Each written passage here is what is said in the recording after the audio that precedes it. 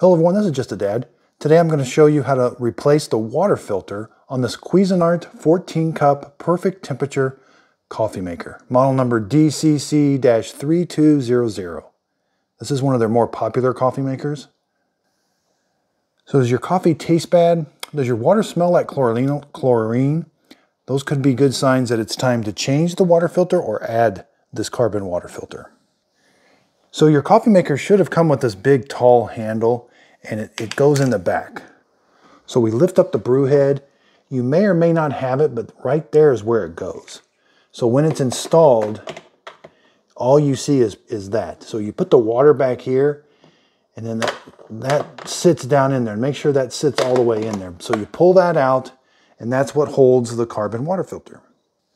So here's what the carbon water filter looks like. You should change these every two months. And there's a little bit of setup to, to before you put this in the coffee maker, we've got to rinse it and soak it.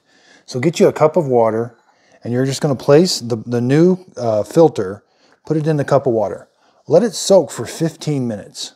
Your water is going to turn like a gray. That means the carbon dust is coming off of that carbon filter on the inside. That's a good thing. Okay, so after it is soaked, then you want to rinse it for 30 seconds underneath the sink.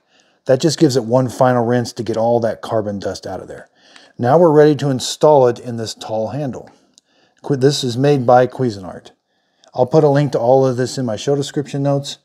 You're going to put the filter in here. The, the curved side should go down and the flat side should go up and then just snaps closed. It only opens from one side. The other side doesn't have anything. It should say open.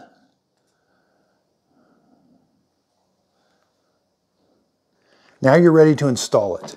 Again, you can't just set it back here. Your lid may not close, but it'll float also. If you don't snug it down, it should stay down. And then if you give it a little bit of a tug, it doesn't want to come out. You really have to kind of pull it out.